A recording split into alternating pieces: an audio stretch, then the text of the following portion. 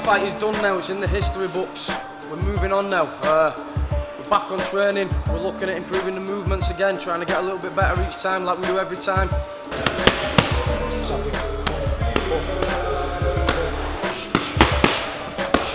As you can see, we're just uh, touching pads at the moment, nothing too strenuous. 16 weeks out, Cage Warriors 88 coming up, Liverpool Echo Arena. Uh, the fight I want, everybody knows what it is. I want Fishgold, I want the title fight.